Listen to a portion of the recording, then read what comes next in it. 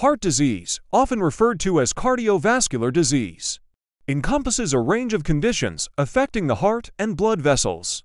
It remains one of the leading causes of death worldwide.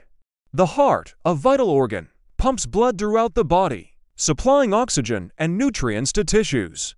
Any disruption in this process can have serious consequences. There are several types of heart diseases.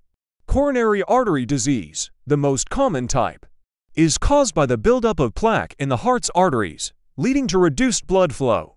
This can result in chest pain or a heart attack.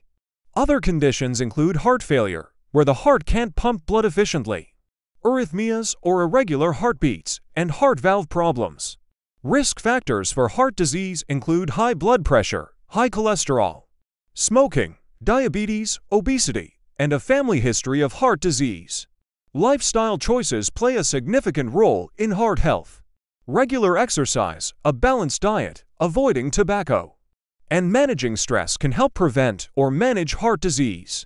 Regular checkups and understanding one's risk can lead to early detection and treatment. Remember, a healthy heart is central to overall well-being. Taking steps to ensure its health can lead to a longer, more fulfilling life.